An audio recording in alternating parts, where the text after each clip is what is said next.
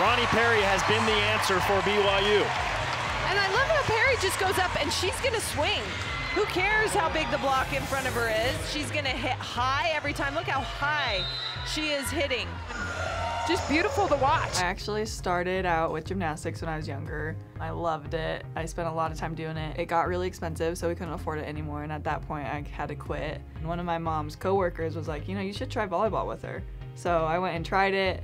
Didn't love it right off the bat, but I fell in love with the sport more and more. Just the more I played it, the more I got to know my teammates. They're my best friends, and I have so many good memories with them.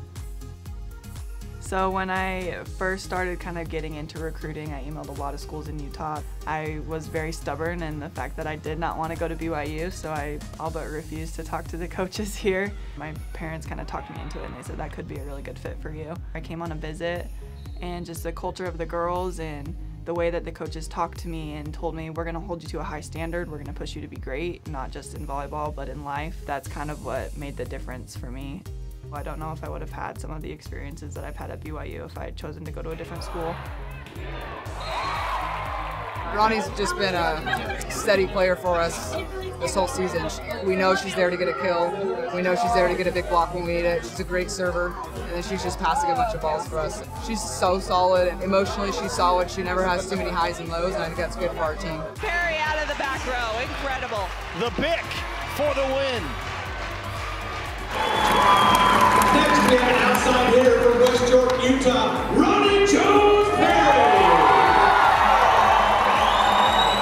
We met in high school, it was kind of like a summer fling. Once I came to college, he was still living in Salt Lake, so that was a little bit hard. And I realized that he was kind of my person, and I didn't want to do college or any of life without him by my side. And his support and the things that he does for me on a daily basis that to a lot of people probably don't seem like a big deal have been huge for me in my college experience. He's been unbelievable. When you have both of those two things and then you finish off with Perry, it's going to go down. It's been super fun.